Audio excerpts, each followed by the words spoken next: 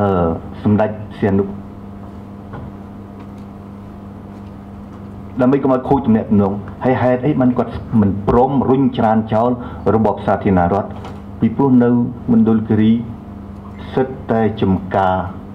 កៅស៊ូរបស់ជនជាតិបារាំងដែលរស់នៅស្រុកខ្មែរផលប្រយោជន៍ផលប្រយោជន៍ផលប្រយោជន៍ លៀងលុបរុញច្រានចោលខ្លះទៅឧត្តមឧត្តមកតិមនុស្សគមវិជាអីអត់មិនមែនថាមិនសំខាន់ទេសំខាន់បើរុញចោលខ្លះខ្លះគិតផលប្រយោជន៍គិតផលប្រយោជន៍ផលប្រយោជន៍នៃប្រទេសយើងជាផលប្រយោជន៍សម្រាប់កូនចៅយើងផលប្រយោជន៍នៃយើងជាផលប្រយោជន៍សម្រាប់គ្រួសារយើងអរគុណសូមអរគុណសូមអញ្ជើញលោកប្រែបុណាបាទបាទដោយសារពេលវេលាកាន់ អស់ហើយអញ្ចឹងខ្ញុំសូមចែកម្លែកចុងក្រោយអឺដោយសារយើងនិយាយពីអភិជាក្រិតភាពរបស់ប្រទេសយើងនៅចំពោះមុខមហាអំណាចហើយសម្រាប់ការយល់ឃើញរបស់ខ្ញុំអភិជាក្រិតភាពមិនមែនជាសមភាពឬក៏សមធម៌ទេអភិជាក្រិតភាពគឺជាគោលនយោបាយមួយដែលរាប់អានស្មើមុខមាត់គ្នាជាមួយបណ្ដាប្រទេសទាំងអស់នៅលើលោក ក៏ប៉ុន្តែមិនមែនមានន័យជាការកំណត់ថាកម្ពុជាបើយកពីចិនមួយលានយកពីអាមេរិកមួយលានដែរបើអាមេរិកឲ្យប្រមាណយកពីចិនប៉ុណ្ណឹងបានគេហៅថាអភិក្រិតភាពខ្ញុំមិនគិតថាដូច្នោះទេដូចពីព្រោះមានមានការយល់ច្រឡំខ្លះចំពោះទំនាក់ទំនងរវាងកម្ពុជាអាមេរិកកម្ពុជាចិនដោយសារតែចិនគាត់ផ្ដល់ផលប្រយោជន៍ច្រើនហើយកម្ពុជាដូចជាមាន ចំណងតាក់ទងស្និទ្ធជាមួយនឹងកម្ពុជាហើយខ្ញុំគិតថាជារឿងធម្មតាពិភពលោកបច្ចុប្បន្ននេះគឺជាការស្វែងរកប្រយោជន៍ដូចវាគ្មិនខាងដើមលោកចង់សងសតាមគាត់លើកថាយើងយល់ស្របទាំងអស់គ្នាថាប្រទេសមួយមួយស្វែងរកប្រយោជន៍មិនថាប្រទេសតូចមិនថាប្រទេសធំក្នុងហ្នឹងក៏មានប្រទេសកម្ពុជាយើងដែរអ្នកណាដែលផ្ដល់ផលប្រយោជន៍ឲ្យយើងច្រើនយើងបាទស្និទ្ធស្នាលជាមួយគេខ្លាំង ជាងអ្នកដែលមិនសូវផ្ដល់ប្រយោជន៍នេះគឺជារឿងធម្មតាមួយទី2ហើយខ្ញុំគិតថាចំណុចមួយដែលសំខាន់គឺសូមឲ្យខ្មែរយើងបើយើងអាណិតស្រុកយើងស្រឡាញ់ស្រុកចង់ឲ្យប្រទេសអភិវឌ្ឍយើងកុំចំណាយពេលដើម្បីឆ្លោះគ្នារឿងមួយកាន់ជើងអាមេរិកមួយកាន់ជើងចិនខ្ញុំនៅតែខ្ញុំនៅតែចាត់ទុកថាជារឿងមួយអត់ប្រយោជន៍ហើយជារឿងមួយខាតពេលវេលាខាតប្រយោជន៍ ពីទៅវិញយើងនាំគ្នាមើលថាតើអាមេរិកគាត់កំពុងទៅណាចិនគាត់កំពុងទៅណាគាត់កំពុងធ្វើអីហើយយើងជាប្រទេសតូចតាចយើងធ្វើម៉េចដើម្បីទី1ទាញយកផលប្រយោជន៍ពីមហាអំណាចដើម្បីអភិវឌ្ឍប្រទេសយើងទី2កិច្ចអំពីគ្រោះថ្នាក់ជាយថាហេតុដែលកើតមានឡើងហើយនឹងម្យ៉ាងទៀតចំពោះអ្នកនយោបាយដូចខ្ញុំបានលើកឡើងខាងដើមខ្ញុំចង់បញ្ជាក់ឡើងវិញទេ យើងគួរតែរំលងខ្លះទៅអ្វីដែលប៉ះពាល់អធិបតេយ្យភាពឬមួយក៏ផលប្រយោជន៍ជាតិយើងរំលងទៅដើម្បីយើងធ្វើនយោបាយប្រឆាំងគ្នាក៏ដោយក៏មិនដែរអ្វីដែលប៉ះពាល់ផលប្រយោជន៍ជាតិយើងកុំលេងខ្ញុំប្រហែលជាសូមអំពាវនាវជាសាធារណៈពីទីនេះដល់អ្នកនយោបាយទាំងអស់គ្រប់អ្នកនីការទាំងអស់សម្រាប់ប្រទេសកម្ពុជាយើងហើយជាចុងក្រោយគឺខ្ញុំគិតថា ប្រទេសយើងគឺត្រូវការអភិវឌ្ឍទៅមុខខ្ញុំគិតថាគ្រប់គ្នាមិនចង់ឃើញកូនចៅយើងលហេមលហាមដូចជំនាន់យើងមិនចឹងដូច្នេះធ្វើម៉េចផលប្រយោជន៍សេដ្ឋកិច្ចនេះធំមែនទែនដែលយើងគួរតែនាំគ្នាទាំងអស់គ្នារួមគ្នាដើម្បីជំរុញជួយការពារហើយនឹងជួយអភិវឌ្ឍធ្វើម៉េចឲ្យប្រទេសយើងទៅមុខទៀតកុំឲ្យវិលត្រឡប់ថយក្រោយបាទសូមអរគុណ បាទសូមអរគុណជាបន្តហើយក៏ជាវាគ្មិនចុងក្រោយសូមគ្រប់អញ្ជើញអាដាមមនិតពិចារណាទូបាទអរគុណខ្ញុំមាន4ចំណុចទី1ភូមិសាស្ត្រនយោបាយកម្ពុជាមិនមែនជាដូចវាគ្មិនខាងដើមថាជាជ្រុញតាមពិតយើងមិនមែនជាជ្រុញទេតៃវ៉ាន់ទុកជាមួយចិនគឺឥឡូវហ្នឹងយកពីណាទៅទុកភូមិ ព្រោះអាមេរិកកាំប្រកាសចិនតែមួយរឿងអីទៅពេលដែលជួប Biden ឡើងធ្វើប្រធានាធិបតីហៅប្រធានាធិបតីរបស់អរិញអឺតៃវ៉ាន់ទៅទៅទៅទៅទទួលស្គាល់អញ្ចឹងចិនក៏ទទួលស្គាល់រដ្ឋាភិបាលទាហាននឹងដែរព្រោះឥឡូវតែអនុម័តនៅអង្គការសន្តិសុខអង្គការក្រុមប្រឹក្សាសន្តិសុខអង្គការសហប្រជាជាតិប្រកចេញអត់ចេញទេវារឿងហ្នឹងទី2កូរ៉េខាងជើងត្បូង សហរដ្ឋអាមេរិកមានវត្តមានកងទ័ពពីមុនរៀងស្ដៅបន្តិចពីព្រោះត្រាំបានឲ្យកូរ៉េចេញកងទ័ពថ្លៃកងទ័ពអាមេរិកនៅនៅលើទឹកដីរបស់កូរ៉េតែឥឡូវអត់ទេប្រហែលជាយ៉ាងម៉េចខ្ញុំយើងមិនទាន់ដឹងទេតែខ្ញុំទៅដល់ព្រំដែនហ្នឹងខ្ញុំទៅដល់ហ្នឹងអញ្ចឹងអាជើងត្បូងចិនកេះវីតាផ្ទះកាប៉ែគូតក្រែងជើងគ្រាន់តែឡើងពឹបក្រែងជើងថាកូរ៉េ នឹងអាចគំតិចសហរដ្ឋអាមេរិកបាននឹងភាសារបស់គីមជុងអ៊ុនភាសានេះធ្លាប់ប្រើនៅឆ្នាំ1960ដែលសហភាពសូវៀតបានប្រាប់សហរដ្ឋអាមេរិកថា5និង15នាទីខ្ញុំអាចគំតិចសហរដ្ឋអាមេរិកគ្រប់ជ្រុងជ្រោយបានទាំងអស់ពីព្រោះបានយកអាវុធនុយក្លេអ៊ែរទៅដាក់នៅគុយបាពេលនោះអាមេរិកបានយកអាវុធនុយក្លេអ៊ែរមកដាក់នៅអ៊ីតាលីនិងទួគីហើយនិងអេស៊ីប ណានៅនឹងរឿងកន្លែងហ្នឹងកន្លែងហ្នឹងចំណុចហ្នឹងឲ្យឃើញទស្សនភាពហ្នឹងទី3ជ្រុញរបស់ចិនអាមេរិកគឺបញ្ហាសេដ្ឋកិច្ចដែលទប់ជាមួយនឹងយើងឃើញថាថៃហេតុអីតាមពិតខ្មែរទេដែលមានសេដ្ឋកិច្ចរឹងមាំនៅទសវត្សទី60ដែលលោកបងខាងវិភាគហ្នឹងគឺខ្មែរមានទាំងអស់ថៃអត់មានទេ ប៉ុន្តែយើងដើរខុសអព្យាក្រឹតតែប្របែមាត់បងអត់ស្រឡាញ់អូនទេបើដៃចាប់បាត់ហើយពេលហ្នឹងសិនសិននៅបានដងបើខ្ញុំមិនខុសមិនច្រឡំទេឆ្នាំ1965ជាមួយជួយឡាយអាមេរិកកាន់ដាក់ផឹងគិតមើលសេដ្ឋកិច្ចអានេះខ្ញុំគ្រាន់គ្រាន់យើង ដល់ឥឡូវនេះ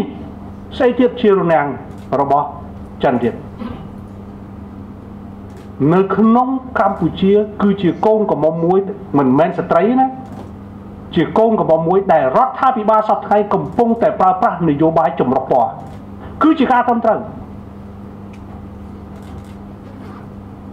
អ្នកណាក៏ត្រូវដែរឲ្យតែមានផលប្រយោជន៍អ្នកឯងរកផលប្រយោជន៍ខ្ញុំក៏រកផលប្រយោជន៍ផលប្រយោជន៍ដើម្បីអីដើម្បីការអភិវឌ្ឍ ខ្ញុំគ្រប់គ្រងវិសមភាពនៅកម្ពុជាមាន តែកម្ពុជាខអ្នកវិភាគពិសេសខាង NGO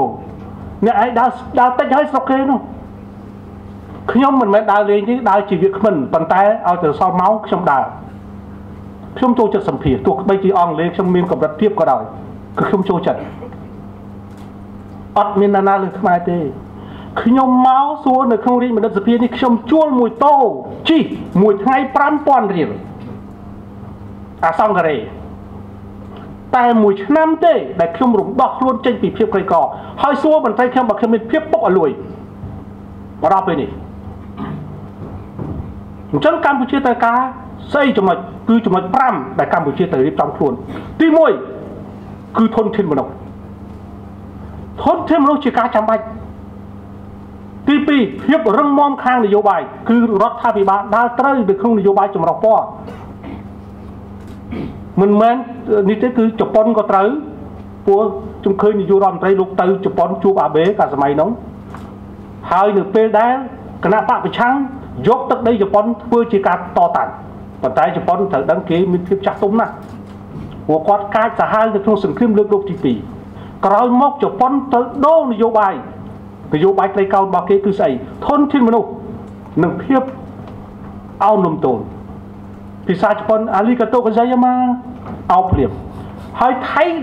កំពុងតែ copyright នៅអេរយាប័តនឹងរបស់ជប៉ុនហើយជប៉ុនគឺជាសាសមួយកាយសាហាវប៉ុន្តែក្រោយពីសង្គ្រាមលោកទី2គេឃើញពីហេតុផលគេចាប់ដើមដូរអេរយាប័តគេចំណុចទី3ដែលខ្មែរត្រូវត្រូវធ្វើត្រូវធ្វើបង្កើត ផលិតផលរបស់ខ្លួន ហើយគ្រប់គ្រងកុំឲ្យបង្ហាញតែរបស់បរទេសរបស់ខ្លួនឯងអត់គ្រប់គ្រងស្នេហាជាតិប៉ុន្តែរបស់ខ្លួនឯងអត់ជួយទេជប៉ុនខុសណា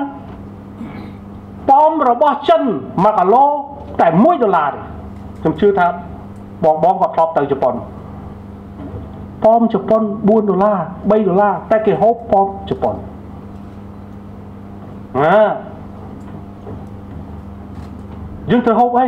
នំបញ្ចុកខ្មែរមិនមែនបាញ់ឆៅទេនំឆៅខ្មែរ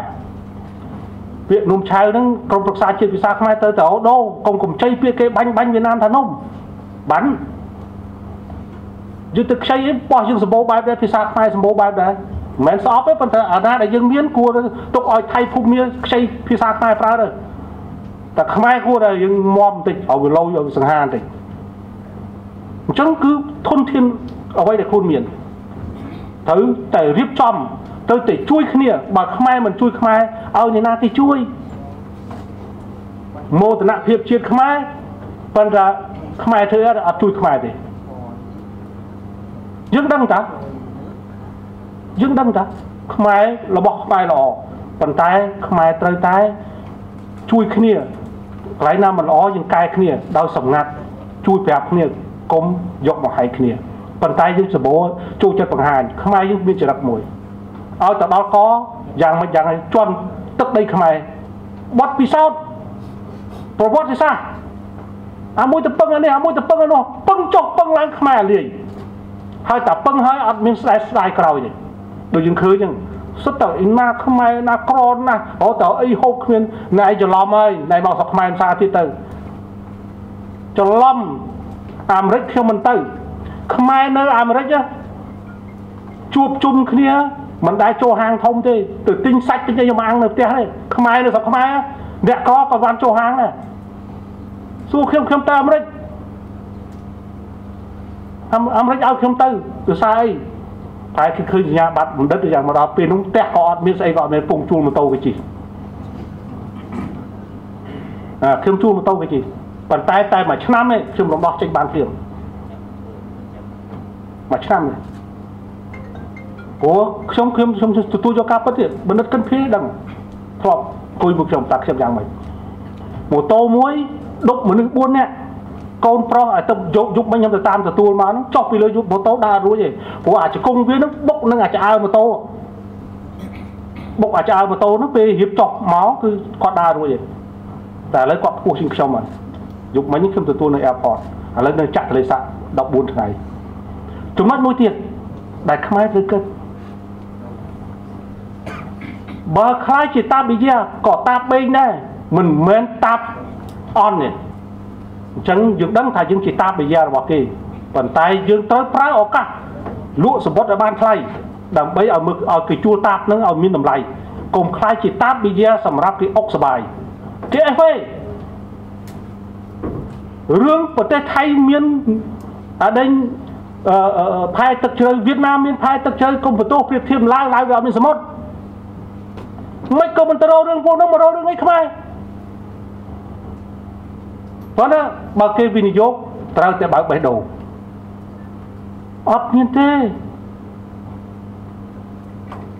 ខ្ញុំឃើញនៅកោះកុងមានស្អីគឺអភិវឌ្ឍបែបទេសចរបើកខ្ញុំប្រាប់ហេតុអីបានសិង្ហបុរីចម្រើន សិង្ហបុរី75%នៃប្រជាជនគឺចិនចិននៅប្រទេសថៃចិនត្រួតត្រាសេដ្ឋកិច្ច60%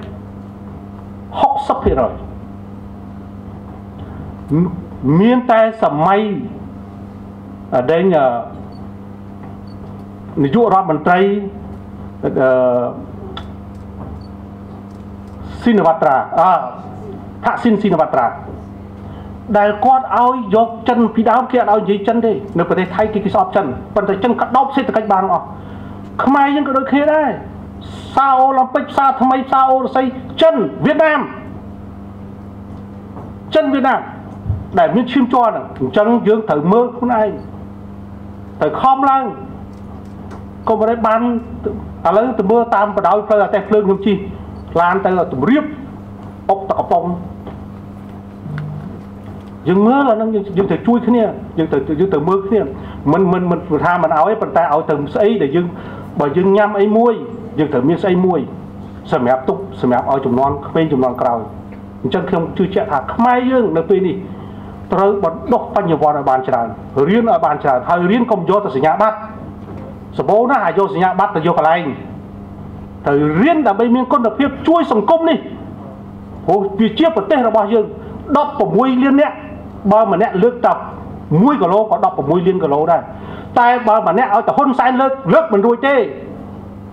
កុំយកអ្វីអ្វីទៅដាក់ទៅលើនាយករដ្ឋមន្ត្រីវាទៅយើងទាំងអស់គ្នាលើកលើកទាំងអស់គ្នាទាំង16លាននាក់ខ្ញុំជឿជាក់ថាប្រទេសយើងរីកចម្រើនរីកចម្រើនអានេះខ្ញុំខ្ញុំគាត់ជំរាបជូនអញ្ចឹងយើងត្រូវជួយប្រទេសយើង កុំឆ្លើយដាក់អ្នកណាយើងត្រូវធ្វើទាំងអស់គ្នាដើម្បីផលប្រយោជន៍ប្រទេសនេះសូមអរគុណ